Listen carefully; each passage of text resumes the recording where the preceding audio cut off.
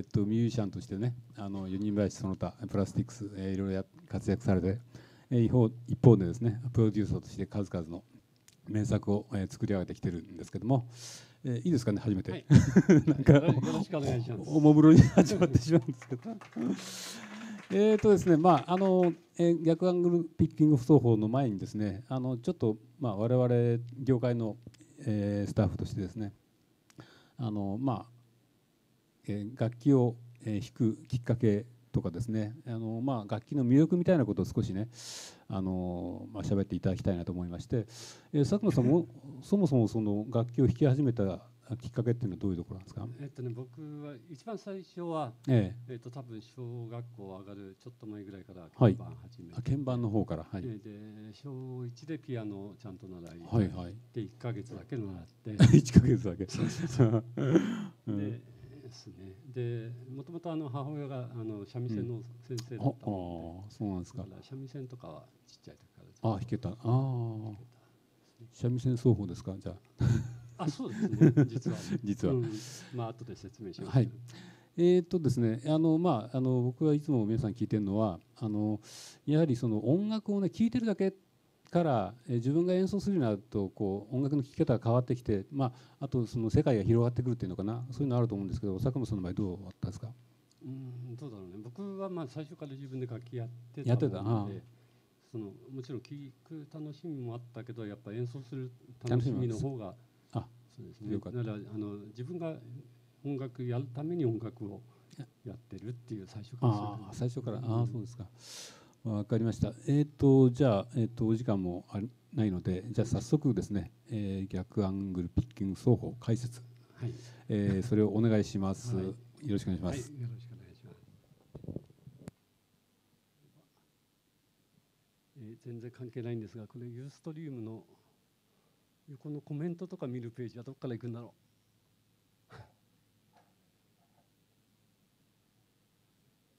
多分ユーストリームの方からも質問来たりするかなと。どこをやるとあのページに。すいませんね。あすごい。これで見れる。あ見れますね。はい。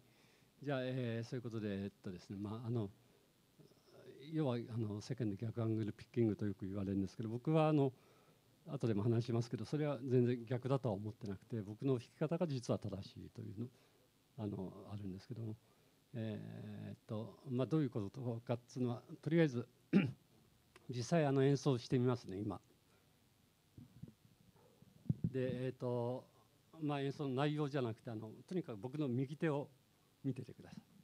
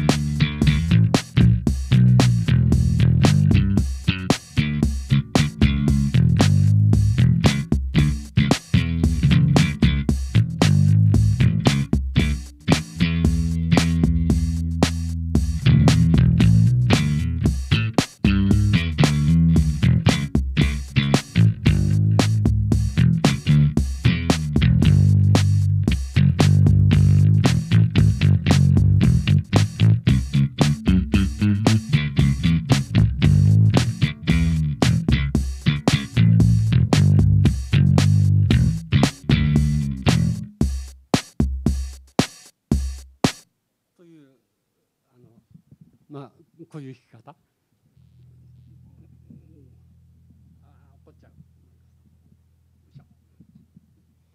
でですねあのこれに対してあのよく言われるこれが逆今のを逆と呼ばれるのであればその正アングルっていうのかな？っていうのだと。でそれとあの今の弾き方と交互にちょっとやってみますね。ただあの音響の関係で違いがはっきり出るかどうか分かんないけど。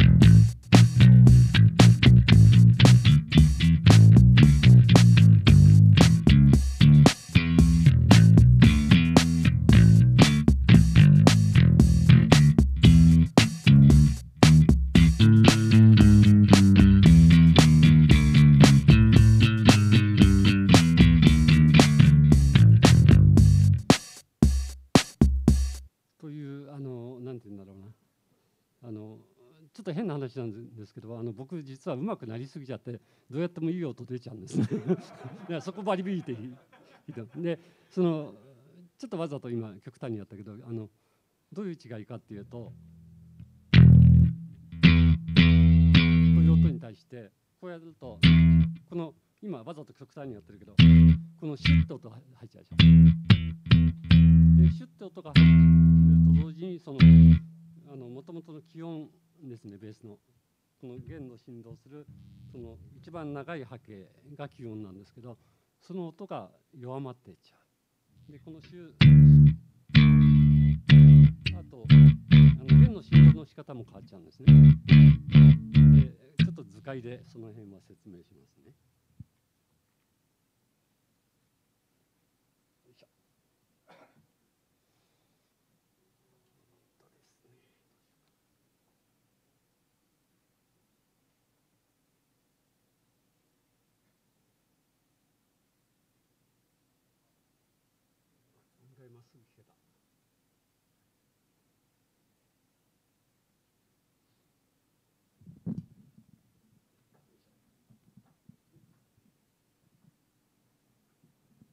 えっ、ー、とですね、こっちがブリッジね。で、こっちがネック側として。で、あの世間で言われる正アングルっていうのは、ピックが、あこれ色変えた方がいいか。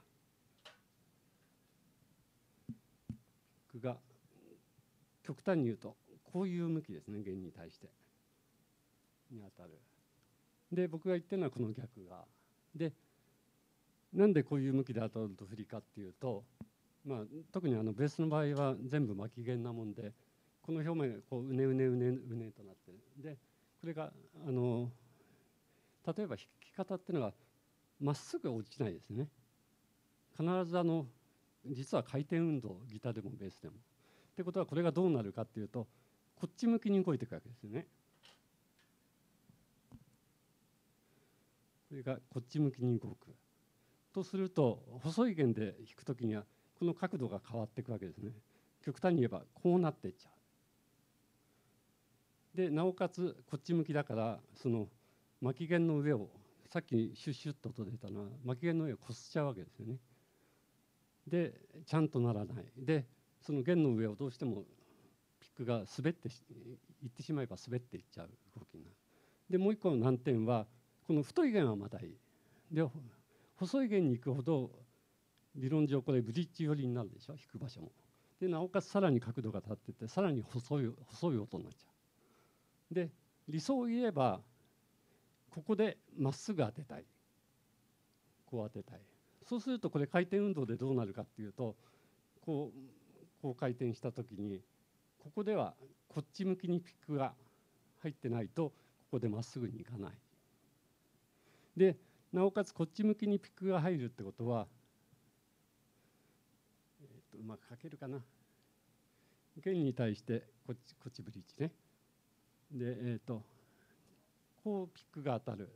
そうするとここで鋭角に接点がねなるでしょう。つまり極端に言えばここでグッと力が入った時に弦がビッとこういう状態ですよね。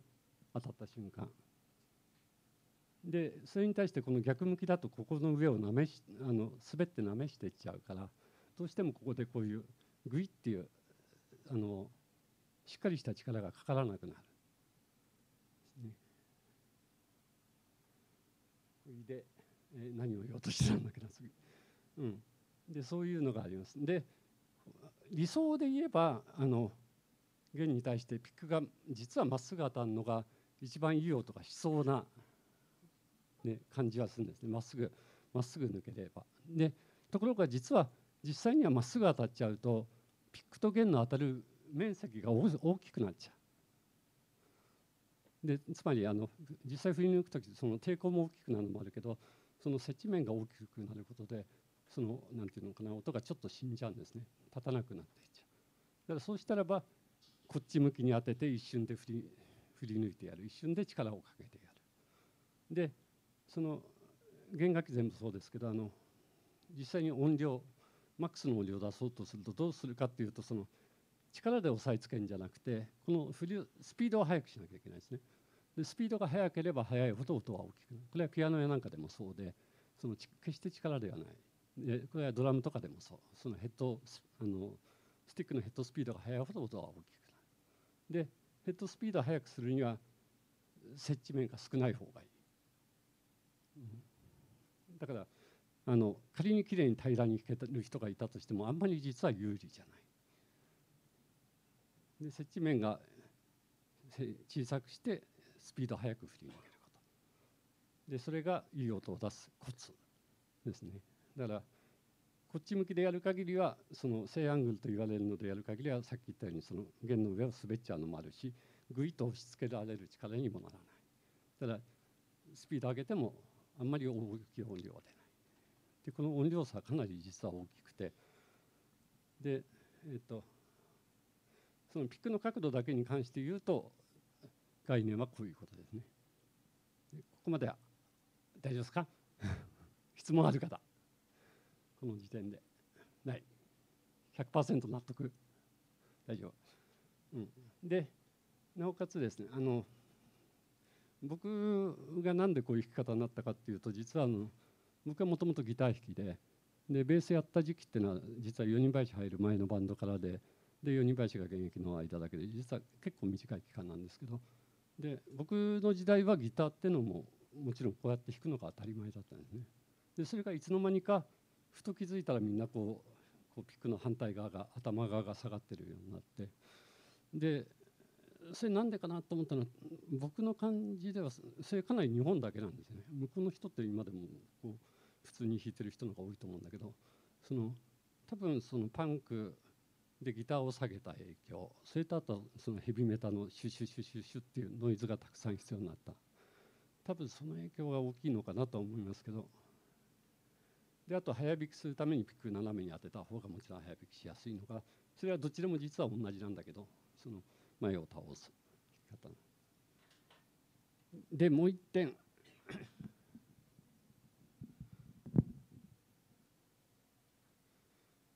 これはあのベースとギターの違いなんだけど。僕がそのもともとギタリストででベース始めた。でまあなんて言うんだろう。ギタリストといってもまあ割とこうバラバラ難しいの弾けるタイプのギタリストだったもんでそのベースは弦4本しかないし実はとっても簡単なんですね弾くの。で簡単なんだけど全然いい音が出なかった。そのベースっぽい音が出なかった。で僕がベース始めた頃っていうのはその周りで、まあ、ほとんどの人は指弾きの時代ででピックでその指みたいな太い音は実は出なくてこの当て方しても出なくて。でなんだろうなと思って気づいたのがその指の場合はこうこういう弾き方ですよね。これアポメアントっていうの？次の弦で止める弾き方。でああなるほどと思ってでピックでも次の弦で止める弾き方。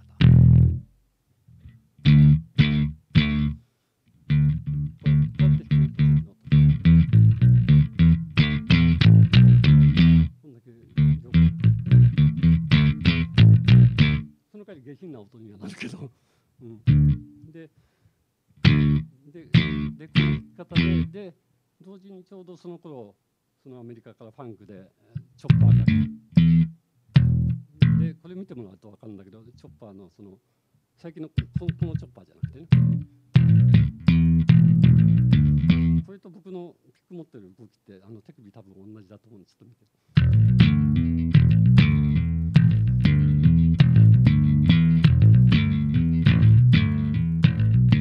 音出るでしょ？チョッパーとピックと。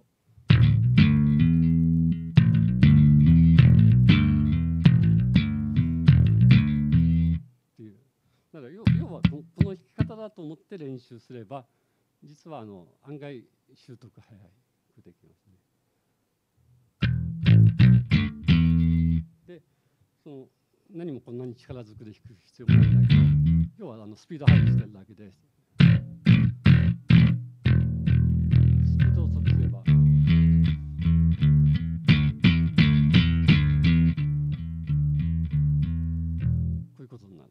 であの特にこの次の弦で飛める。でなおかつスピードが速く。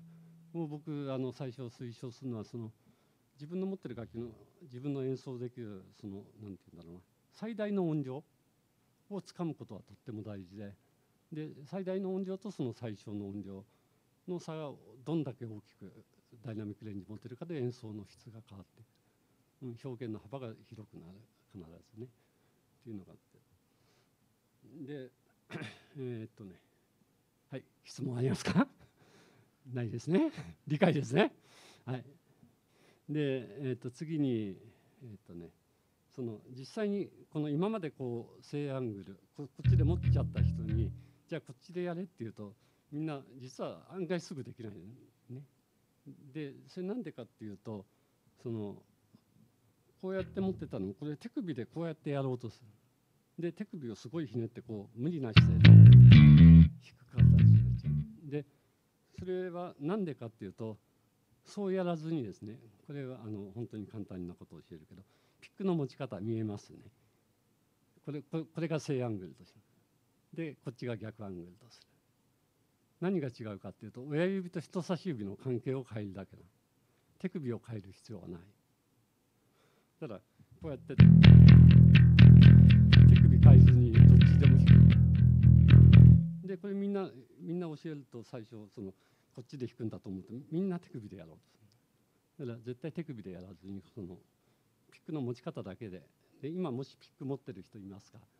ちょっとピック出してこう自分で持ってほい。じゃあまずこっち向きね。せやせえっとうん、僕と反対になっちゃうからねだから、えーと、正アングルにして。で親指と人差し指の関係で人差し指を前に親指を後ろにすればこうなる。こうやればこうなる。手首を何も変える必要ない、うん、で腕のフリーダナンダーは今までやってた通りで全然構わない。ただ違いはあのあの指で弾くアポヤンドのこの次の弦で止める。そのためにはこのさっきやったチョッパーの方式こう斜めに落とす。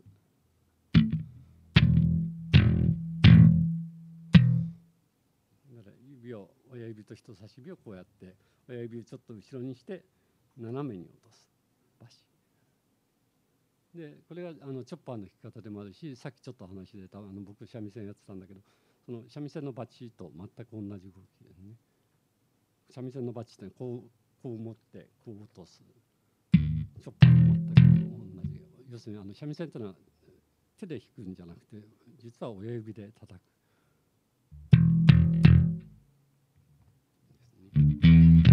で、えー、いいですね。質問ないですね。でこの中でベーシストの方手を挙げてください。いその中でピックで弾く人。をで、えー、今まで正アングルだった人。よしじゃあ前へ出て前へ なんかベース一本借り。あじゃあビスをあいいよ。あじゃあこれでいいや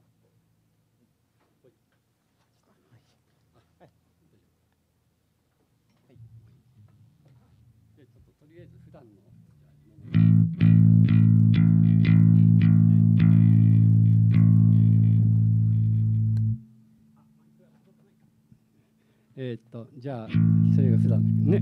あのほらみんなわかるあアタックでカサカサって言ってじゃあそれをさっき僕が教えたように親指を後ろにする。うん。それでほら。うん。とりあえずカサはなくなったでしょ。そうそうそう。それで今みたく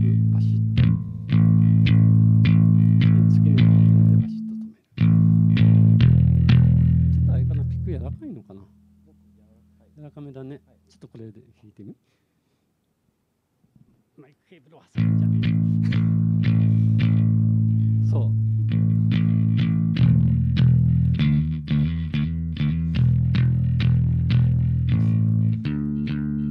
ねさっきと全然音違うでしょ。ねまだまだ慣れてないけど、うん、音の種類は。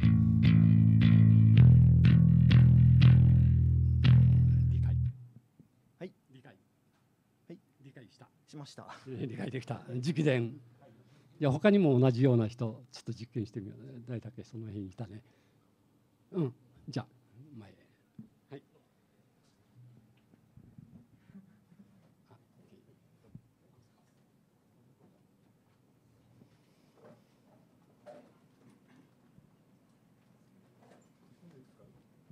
あ大丈夫大丈夫、うん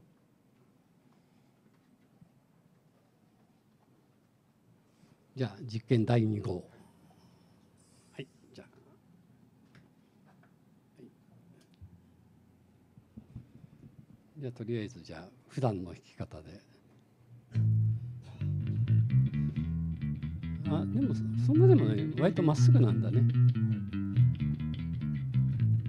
うん。じゃあさっき教えたやり方に持ち帰る。親指を後ろ側にする。と、うん、斜めなんでしょ、うん、でまあしっかり持ってそれでこういうバシバシ。うんそんな感じで大丈夫。で君の場合はピックの角度が当たる時に斜めピック自体がなこうだね、はい。うん、ピック自体はこれに対して直角に、はい。うん、さあ弾けるかな？それでバシバシバシそう必ず止める。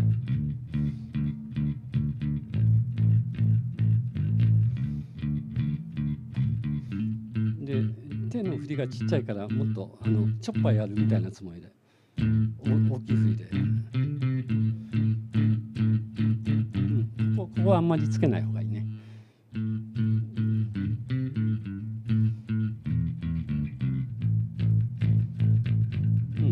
下は、うん、ちゃんと太い音になってきてね。うん、そうそうそう。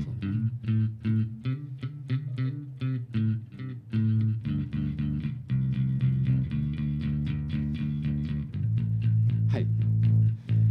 理解。少し。うん、音の違いわかるよね、自分で。そうですねね、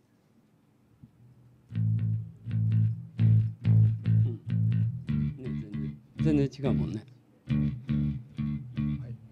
こういうことですね。はい。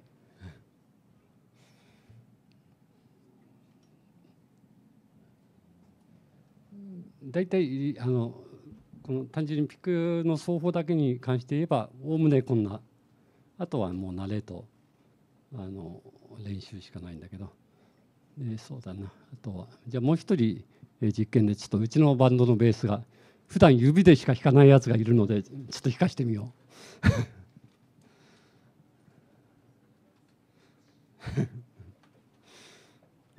え砂山くんです。こう、えー実はこの人むちゃむちゃうまい人なんですけどね。ただ指でうまい、うん、ピックは本当にやらない人なんで。でちょっと呼んでみました。えじゃあピックで弾いてみよう。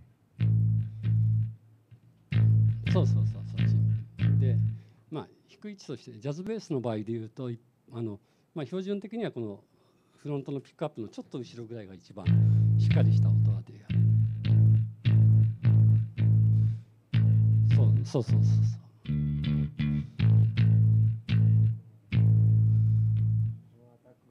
うん。そうだよねそれでちょっとフレーズ弾いてみてなんか難しいの。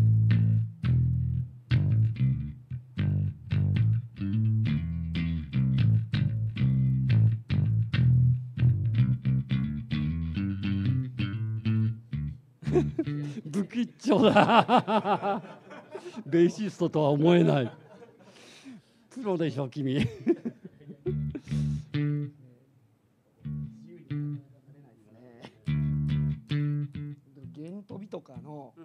あのコツみたいなんてあります？このピックツね。なんか例えばこういう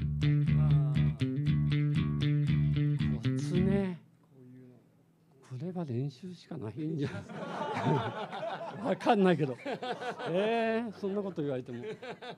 練習するかそんなフレーズ弾かないかどっちかだそうだな。できるかな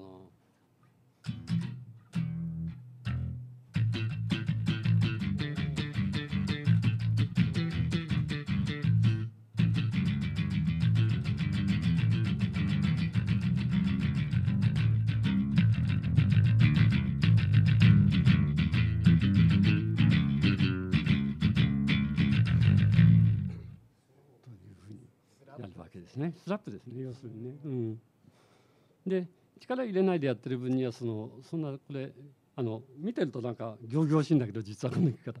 実は弾いてる側に対してその負担かかんない。要はここれの速いのやってるだけだから。ですね。だから僕も最近速い曲やんだけど多分テンポ200ぐらいまでは僕まだできるかな。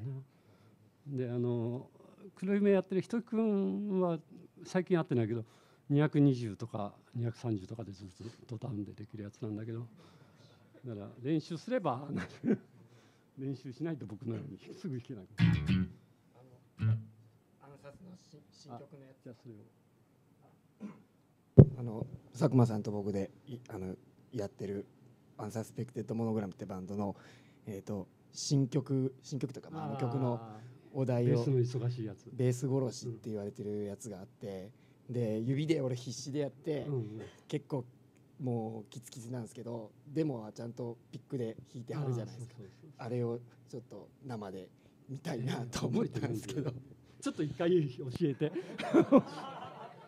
フレーズ覚えてないよ。まあ俺もあの通りはやってないんですけど。えそんな持ち方でいい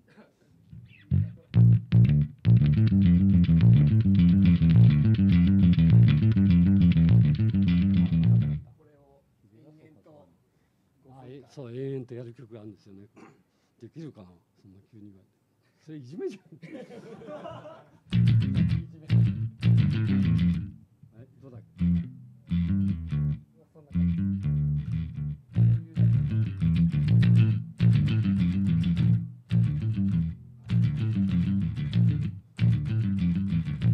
覚えらんない。まあようなこんなような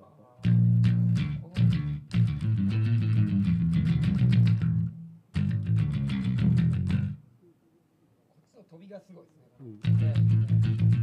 で練習練習したもん。練習。そうですね四人林やった。四人林もっとなんか難しい曲あるんで実は大変ですね。はい、はい、ありがとうございます。でユーストリームの方なんかあるかな？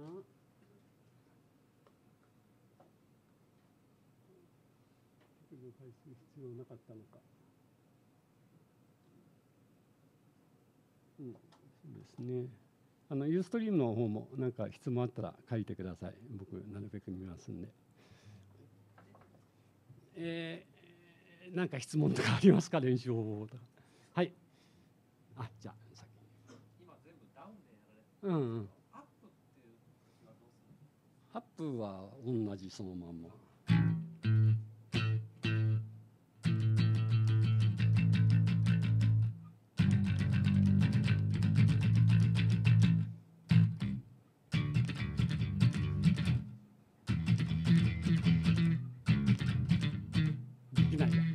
にはダウンの方がやっぱりい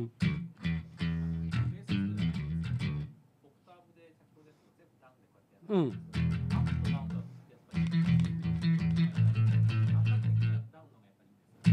いや、フレーズ自体がね。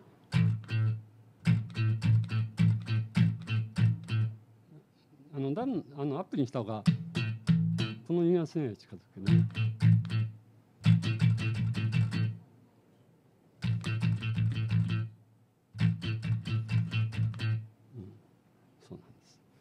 基本的にアップがあんます得意じゃないもんで、ギターはアップ多いんだけど。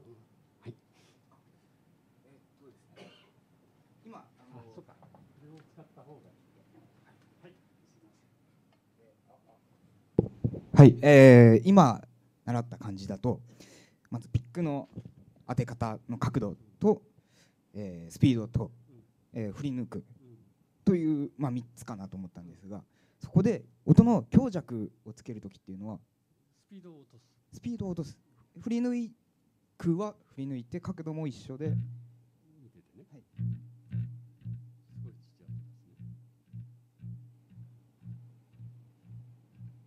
持ち方も何も一緒でしょ？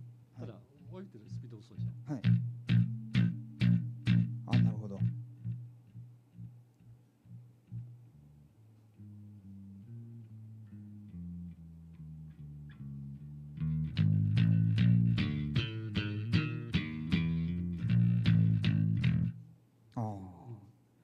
ほどじゃあスピードを落としてもその音色というか音色が変わらずに、うん、あんまり変わんないで、もちろんそのバシッて当てる分のあのノイズみたいなのがなくなるけど、はい。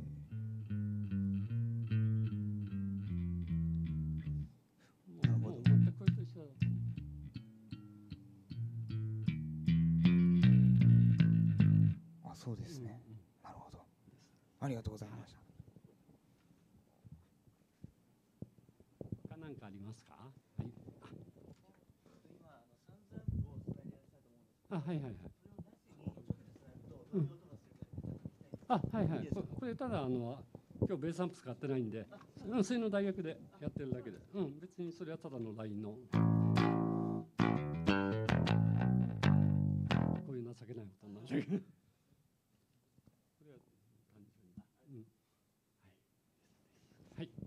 あのあすいませんえっと私ちょっとベーシストではないんですけども、あのピッキングをするときにあの右の方にこう手が流れるというよりはこうなんだろうな左の方にこう、振り抜くイメー。ジで、えっ、と弾くのっていうのはあんまりいや、そういう人もいるからそれは。うん。大丈夫、ただそのさっき言った理屈で言えばこっちに行く人はここ逆アングルっていうのにした方がいいけどこっちに行く人はこっちの方が実は有利、うんうん、ただおん。同じにはならないんだけどね。あっていうのはその幻聴に対するそのピックの当たる位置の問題があるから、ーはい。うん、あのどうしてもこっち寄りであるからこの方が有利っていうのがあって。あとここのひあの肘のあれですかねこうは固定こ割と固定気味というか、うんそうね。あんま動かさない方がいいかもしれない、うんうんまあ、立って弾くとまたちょっと変わってああうんそっか。立っていく時の高さってどれぐらいな感じになるんです僕か？僕はどうだろうそう言われてもあこんぐらいねあんま低いとねそれはまあ弾きやすい高さはいいいと思いますあとは何かありますかはいち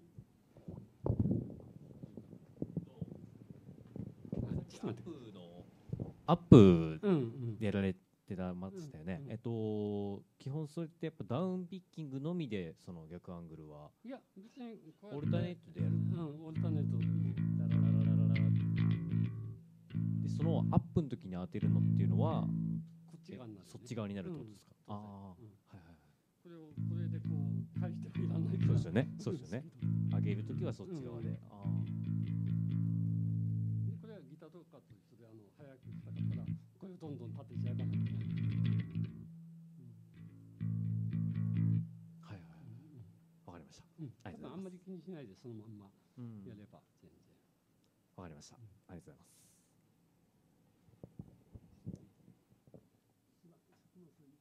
指引きのあ佐久間さんにかんが感じる指弾きのデメリットってあるでしょうかってありますね。えっとね僕ベースっていう楽器はその指弾きはデメリットないと思いますね。あのっていうか指の方が絶対楽な楽器ですね実はフレーズ的にもそうだしで例えば8分やっても2本の指であるいは3本でやってそのこれでダウンで一生懸命やるよりは全然楽だしそのいわゆるベースらしいフレーズっていうのはほとんどのフレーズは大体指の方が楽ですね。でそれを僕は意地になってそれをピックで指でなんか弾くもんかってずっとやってるけどもだから指で弾ける人は、うん、指の方がいいかなとはその楽器としてはいいかなと僕は思います。あとは何かあるかなあピックの持ち方もう一度見せてください。えー、アップできますかね弾くときはこうですね。うん、でこっち向きで見せると。ですね。ででこう親指極端だけどういうことで角度を変える。ですね。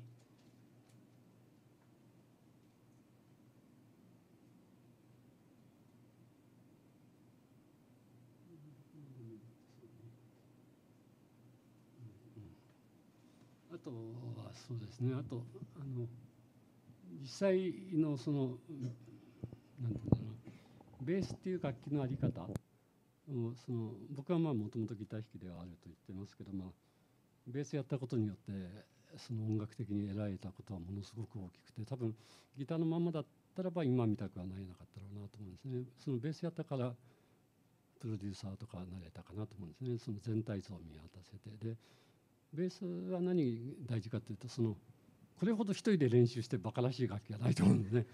音は低くて家でつながないでやっててもよく分かんないような。でそのアンサンブルの中で初めてそのベースっていうのは意味があって。でそれもどういう意味があるかなっていうとその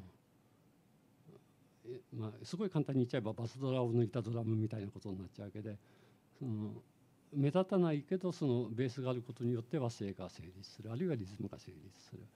でそういう意味では僕はベースっていうのはその僕の理想は目立たなければ目立たない方がいい。低いところにいれば低いところにいるほどいい。でベースのを弾くのをやめた途端に急にあベースがあったんだって気づくような、うん、それがベースっていう楽器が理想かなと思うんですね。でそれにはその実際の奏法上そのさっき言ったその音色のための奏法もあるけどもそのピッチですね。そのいかに正しいピッチを出せるかちゃんと。でピッチっていうのはこのギターもベースもそうだけどこういう楽器である以上はそのチューニングメーターで合わすことじゃなくて自分の耳で押さえ押さえ方でいくらでもピッチって変わってしまってで例えばグリースするあの今チューニングメーターないからちょっと分かんないけどこうやってグリースして持っていった。で持っていった時にその位置で指を止めたとする。そうすると弦はこっちにたわんでくるわけですね。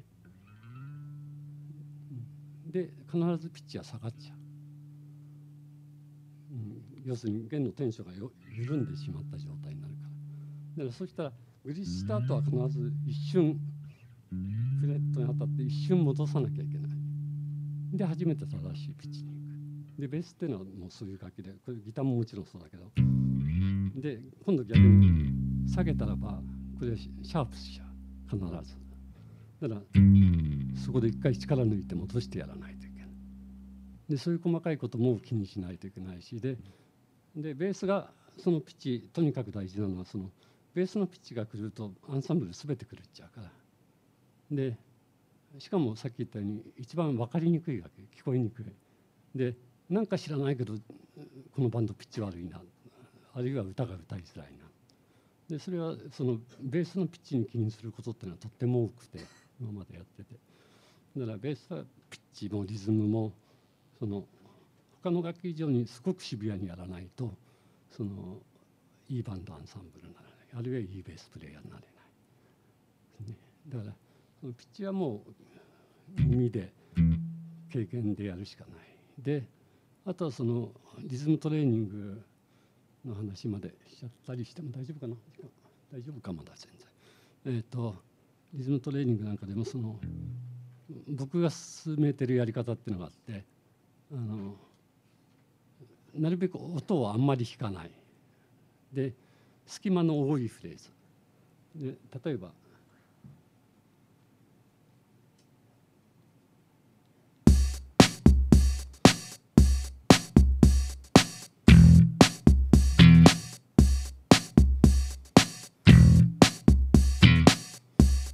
例えばこんだけのこと。で僕見てて。どこでも何も取ってないでしょ？で体もどこも動かさず話もしてて。これ1時間でも2時間でもずっと狂わないで僕はできる。っていうあのこれは今リズムボックス使ってるけど本当はそのこういうリズムボックスだクリックだ何も使わないでその自分のテンポ感でこれを練習するで体を動かさないで間を数えない one two three four って弾かないで。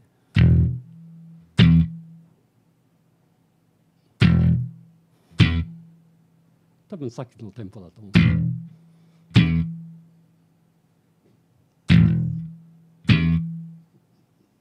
でこの弾き方これかなりストイックな練習だけどもこれ別にフレーズは何でもいいのね。もちろん。でその要は間間をすごく空ける。でそれやると何でいいのかっていうとその自分が弾くべきリズムのポイント、うん、弾くべきポイントっていうのは実はその時間軸の中で1箇所しかなくて、うん、それがちょっと早くてもちょっと遅くてももうダメで。でそのポイントに対していかに自分が集中してシビアにできるか。であとはその弾く音符の長さに対してすごくセンシティブになってくるねこれやると。そのどんだけ短いく切るかあるいはどんだけ伸ばすか。伸ばすか切るか。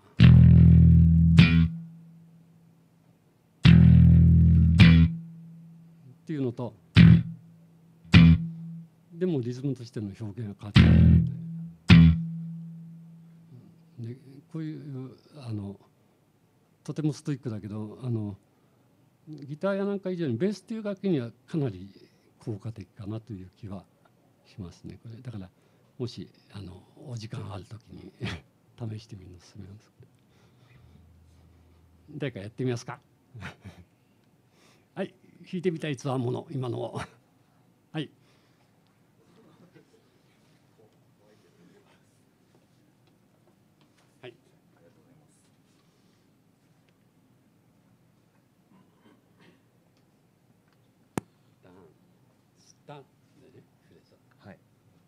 not yet.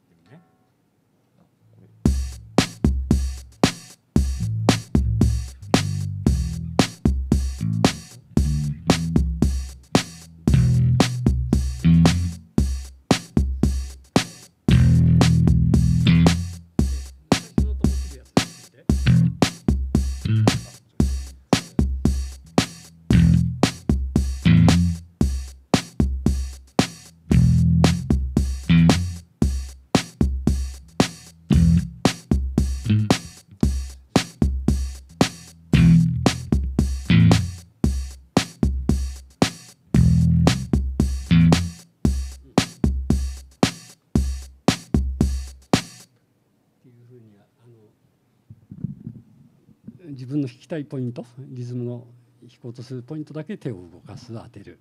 実際に音をでで今度リズムなしでやってみよう。はい、はい、みんな聞いててこれが合ってるかどうか。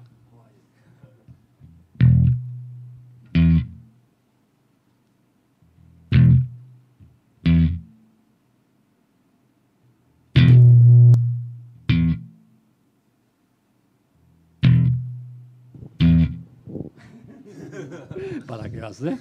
はい。ばらけますね。でもそういうこと、うん、でも全く数えず弾くって結構大変でしょ難しいです。はい。中で何もこう one two three four って数えずに、うん、数えずなるべくね、はい。でも最初はもちろん数えないと無理だから、はい。うん、さ最初はそのリズムボックス使おうかなんでもいいんだけどそのやってて。で急にパッと止めても同じようにずっと弾けるかどうかですね。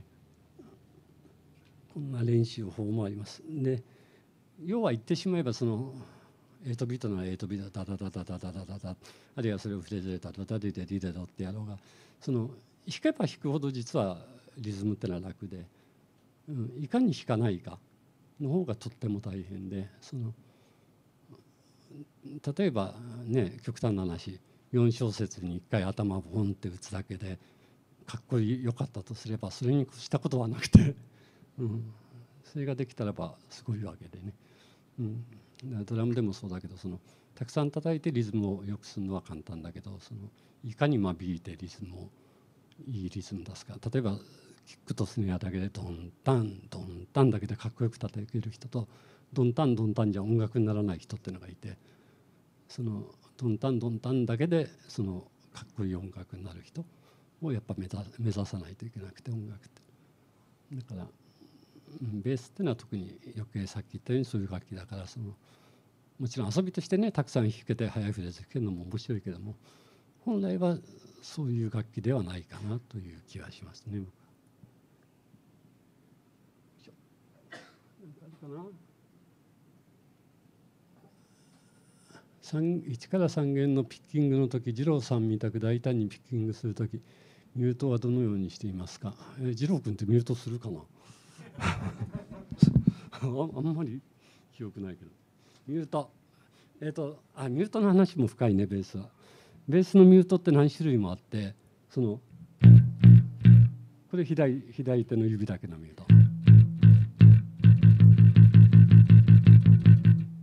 こういうミュートもある。であと左手で今中指で押さえて薬指でミュートしてる。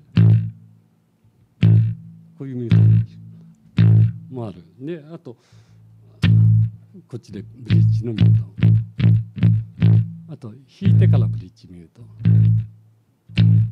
ピックを一瞬先に当ててミュート。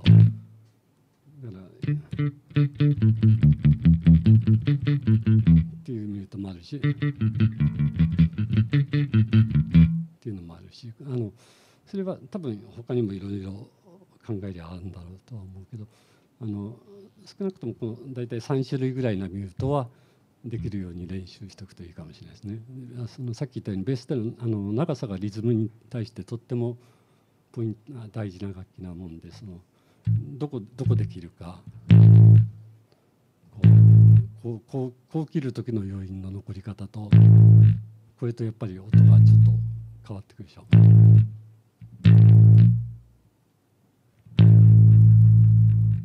あとあの僕レコーディングなんかだとあの例えば最後の音がボーンと伸びて消え消える減衰して消える。でその時にそのこれあの職業のせいもあるんだけどそのままほっとくとだんだんその後でコンプとかかけた時にノイズレベルが上がってきちゃう、うん、だからである程度のところで僕はそっとこうやってこういう消し方。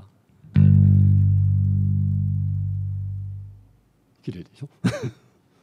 こういうのもある。で例えばその最後の余韻で減衰する時にこれこれだとねパツって切れちゃうからとかこういういろんな方法があるので、えー、ミュートだけでも結構けん勉強研究は いいと思いますね。何かあるか。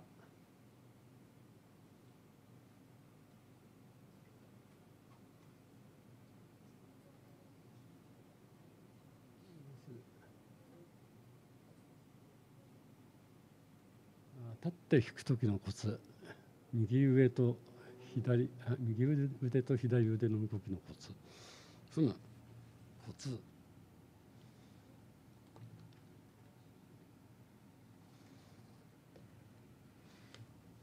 コツね。多分立って弾いても座っててもあんま変わんないんじゃないかなとは思うんだけど。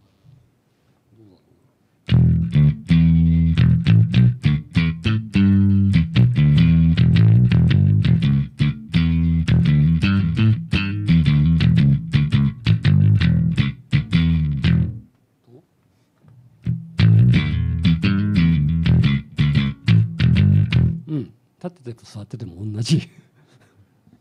同じように弾けばいいと思います。あとは何かあるかな？逆いっちゃった。はい。あと何か質問等ありましたら。はい。あ。うん。あ。はい。うんうんうん。うんうんああれはね、うん、ある日ふと気づいて、うん、どっちにしても全然変わらない音が出せるっていうのを、うん、発見したんだけどだからあの、まあ、さっきも試しでわざとやってたけど、うん、実はほとんど変わらない音出せちゃうから僕はあんまりそのいいいいサンプルにならないんだけどあのなんだろうな。要はそのピックが弦に当たる。それからその弦から振り抜く。そのしその瞬間の意識の問題かな。意識とねなんだろうあの親指にかかるね。あのダウンで言えば。その親指の運び方というのかな。押し方というか運び方というか。それで実は相当コントロールできて、うん、それを意識するとまあベースの場合はこのバシって止める弾き方を今言ってるからこれだともちろん違いは出ちゃうんだけどギターとかの場合だとそのどっちにしても全く分かんないような音は出せるようになっちゃいましたね。うん、ただその正アングルにして逆アングルと変わらない音出す方がやっぱり気は使いますね。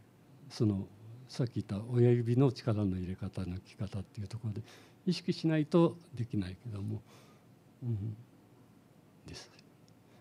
なかなか深いところです。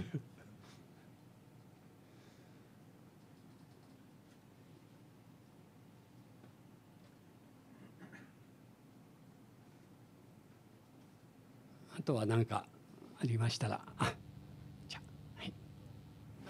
あちょっと待って。ねけばなるべく。あマイク。ははえっ、と、古い弦をお好みになると聞いたんですけども、えっ、と弦って古くなるごとにピッチが悪くなっていきますよね。案外大丈夫。大丈夫です。か、うん。あんまり気にしないでやってらっしゃいます。かあの変な錆び方してきたらもちろんそのピッチ悪くなっちゃうけども、割と均質に錆びてくる分にはそんなには気にしないでも大丈夫かな。なるほど。うん。じゃあ気になったら変えうん、るそうそうっていう感じですか？気になったり手触り悪くなったら。まあ例えば今日なんかでもこのベースちょっとさすがに死にすぎてんだけど本当は変えるべきなんだけど今日それ来てから気づいたからまあいいやと思う。あでわかりましたはい僕がその新しい弦嫌う理由っていうのは単純にその僕仕事からその実際楽器やるのってレコーディングの現場なもんでその入りたての弦でやるとあのベースで言えばあの最初の3テイク大体2テイクか3テイクまではまあその入りたてのいい音するんだけどそれから一気にこう音が死んでくるのね。そうするともうパンチインできないことになっちゃう。そうすると3テイクごとに弦張り替えるかっていうとそれは時間的にもコスト的にもないからそれだったらもう最初から死んでる弦だったらばいくらでも大丈夫っていうのもある。ますね。あの最初そうしだした一番の理由はそれかな。であとはそのやっぱり入りたての弦のビンビンビンっていう音がで、まあ、特に自分はピックで弾くもんでその耳につきすぎちゃうっていうのかな。うん、のでそのビンビンの音でそのアンプでトレブルを無理に抑えるよりは、うん、ビンビンじゃないのでトレブル上げてやった方がなんかスムーズな音がするっていう感じはあります。わかりました。ありがとうございました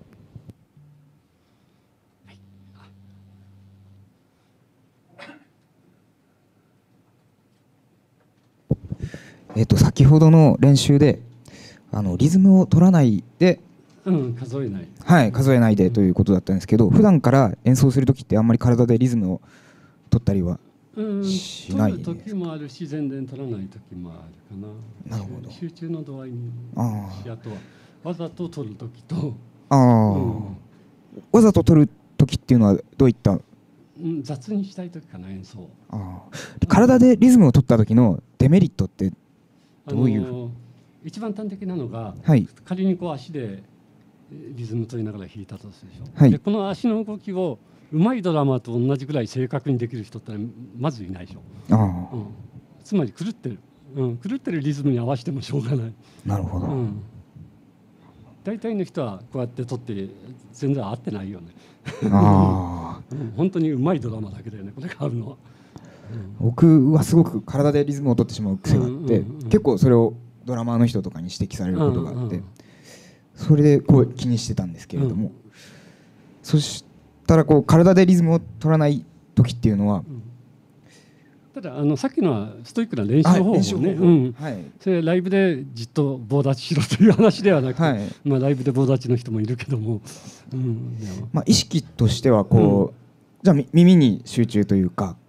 そうだねあのなんて言うんだろう。もちろん最初は数えないと取れないんだけどはい。そのうちそのそれが4拍なら4拍2小節なら2小節の間として感じられるようになってくる。ね間うん、間みたいなことが、はいでそうその間としてリズムを感じられるようになれば締めたもんでそうすると例えば今度は1曲の A メロ B メロサビ、はいとかっていうそれぞれのグルーヴで感じられるようなあるいはその楽曲としたグループで感じられるようになる。なるほど。でもう一つその数を数えない体を動かさないメリットっていうのはそうやってる時に人間ってじ実はどこでリズムを感じてるかっていうとこれは僕の考えでもあるしまあそれやっぱそうだねって言ってくれるドラマーの人も多いけどもあの腰で腰でリズムを感じられるようなでうまいドラマとかっていうのはそうでそのドラマって手手足バラバラにやってるじゃない、でその時どこでリズムを感じてるかっていうと体の中心は腰なんだ、うん、でこれはどの楽器でも多分そうでそのダンサーとかもそう、うまいダンサーの人はやっぱり腰だと思うのね。中心はリズムの。で腰でリズムを感じられるようになったら締めたもんで。そうするともう自由に。ど。うやろうが自由に演奏できる、うん、ようになるのかなっていうのが。でそれの近道としてはそのさっき言ったストイックな動かさない数えない。をやってるといつかそれがあこういうことかって分かる時が来ると思う。なるほど。うん。わかりました。頑張ります。はい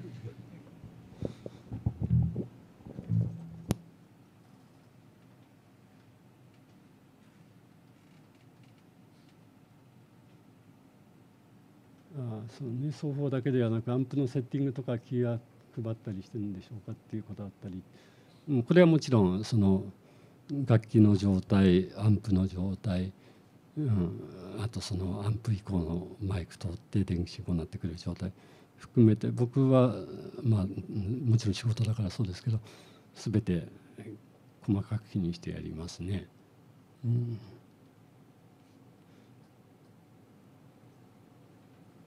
ですね。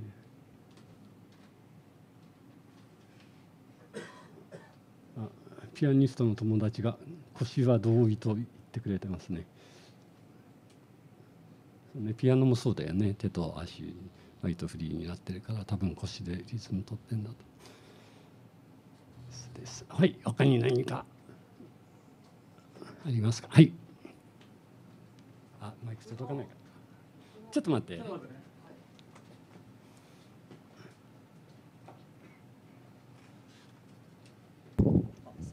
ピックのうん。形状とうん。材質と厚さに関して、あはいはいはい。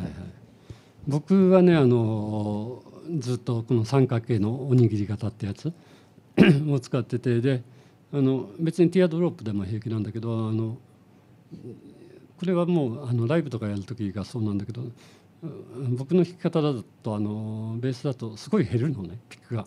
だもんでライブ中にこう回転させて新しい面を使える持ち帰らずにねそれがそれが最大のメリットかなあのおにぎり型は。でそれ以外では別にあのティアドロップでも何でもいいんだけどただベースの場合だとティアドロップだとどうしてもここの幅が狭いくなるでしょ。分でその音色もちょっと変わっちゃうのとあと強い力でやった時に何て言うんだろうなこう逃げやすいっていうのがちょっと僕の場合はそれがあってででその度にこう戻すのも面倒くさいっていうのがあってでこの形ですね。で材質的にはねこれ材質はあの同じプラスチックみたいでもいろんな材質があってそのいい音する材質とあんまり芳しくないのっていうのはははっきりしてありますね。で普通のプラスチックのピックはやっぱりあんまり良くないですね。で、えっとこれは僕は自分で作ってるやつはアセタルっていう材質ですね。でこれかあの最近多く使ってるのはえっとなんだっけえっ、とうんとクレートンのピックなんかであるちょっとあの金色っぽいっていうか黄色いなんだっけウルティ、まあ、忘れちゃった。材質の前。うんなんかそんなようなのとか使ってます。だから、うん、あのベースでもまあエレキでも何でもそうなんだけどあの一番違い分かるのがアコースティックギターをじゃらんって弾いた時にいい音がするピックは一番いいと思う。うん、いろんなピックでこう試してみると音は全部違うから、うん、た時に一番こう自然に響く音の、うん、ピック。であと厚さ的にはベースっていうのはあのどうしても敵が太いもんでね。ある程度の厚さはあった方が得かなと思いますね。やっぱ柔らかいの使ってるとこうへにゃって当たった瞬間にこうしなっちゃうんでね。で特にあの速いフレーズ弾こうと思うと硬ければ硬いほどいいですね。僕昔あのレコーディングで BPM が、えー、4 400でさすがに弾けなくて380とかに落とした曲があって。でそれはもうプラスチックのこういうピックじゃ弾けなくて。でその時は金属のピックでないと追いつかないスピードだったよね。その代わり一曲弾き終わったらもうこ粉だらけになっちゃって すごかったけど。だからその用途によってその厚さとか硬さとかやっぱあるかなと思います。はい。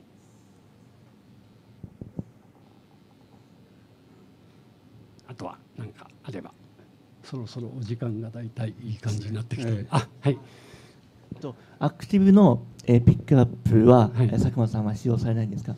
アクアップ、えあアクテっィブのベース？とアクティブのベースも持ってますけどね。あの僕はあんまり使わないですね。あんうん？いや全然そんなことはない、うん、そういう問題じゃなくてあの僕の場合は、まあ、レコーディングさっきから言うレコーディングメインっていうのがあってその要は素直なにその弦の振動を拾ってくれればそれをあとどうでも処理できるもんでですね。であとアクティブだと、まあ、ここでベーストレベル例えば変えれるっていうとそのなんていうんだろう音決めの要素が無駄に増えちゃう部分があって、うん、だからアンプで変えればいいのかこっちで変えればいいのかっていう、うん、その無駄の要素があるほど悩むし時間かかるし、うん、でアクティブが悪いとは全然僕は、思わないですね。うんはい、じゃあ大体こんな感じですかね今日は。はいはい、えー、長い間ありがとうございました。えーっとそういうことで、あとちょっと最後にあのご自身が使っているベースについてちょっとあはいどういう材質を使ってあこういうこれこれはえっと僕の自分で作ったベースで、まあもうずいぶん長いこと使ってうんだいぶボロボロですけど、えっとこれはボディがスワンプアッシュっていう、えーアッシュの軽いやつですね。えっとあのアッシュっていう木の下の方を取るとこう力がかかって密度がかかって硬い重い木になる。上の方を取るとあの密度が薄い軽い木なんですけどでそのスワンパッシュっていう材質ででメープルこれはなんだトラメ入ってるのか、うん、まあメープルでで指板がエボニーですねだからでえっとまあギターもそうなんだけどギターもベースもまあその僕自分で作ってて結局たどり着いたところはボディはなるべく軽くでネックはなるべく重く、うん、っていうのがやっぱり理想的な音ダイナミックレンジ広い音っていうかな、うん、になる感じはしてますねずっとやったわけだからあの指板エボに使ったりとか最近だと極端なのはもうネックごとあれなんだっけ？スナパのなんだっけ？あロズとか。あじゃない。ネックエボニーだ。そう。ネックごとエボニーのベースとか。やっぱりそのそこまで極端にやるとかなり一理ある音しますね。うん、で最近エボニーの投資ネックがちょっと手に入らなくなっちゃって、まあ、ロースウッドとかでも全然十分いいです。ピックアップとか回路とかなんか特殊ないや全然特殊じゃないですね。これピックアップはねえっと70年ぐらいのフェンダーのユーストですね。で回路も全然そのまんま、うん。あの特殊なそのえっと抵抗みたいなのを使ってるとかそういうのねあもう別に高級なコンデンサーも使ってない。あでもコンデンサーちょっといいの使ってるかなこれは、うん。なんか最近ほら凝った人あの何年代ぐらいまで使ってたじゃなきゃいけないみたいな、うん、うん。最近うん。あの一時期その電線タランダ含めねうん。多少こだわって追求したんだけど、うん。最近はもうどうでもよくなったね。そんなことはもうどうでも、うん、やっぱやっぱ演奏の演奏者の違いはええ。絶対超えられないからね、何と何に使おうが ただボディのなりだネックのなりだっていうところではえもうそれが楽器を左右しちゃうから、はい。でピックアップっていうのはその実際のこうなってる原振動をどう増幅してくれるかどう色付けしないで増幅してくれるかだけが大事で,、で出力が大きい必要もないしそれはアンプで稼げばいいんだから、で出力が大きいと原振動に影響を与えるし、だからいかに色付けないピックアップを選ぶかってやればそのボディとネックがちゃんとなってくれればちゃんとした音を出してくれれば必ずいい楽器になるっていう。えわかりました、参考になりました、はい。ありがとうございました。じゃあ、はい。そういうことで、えー佐久間正秀さんでした。どうもありがとうございます、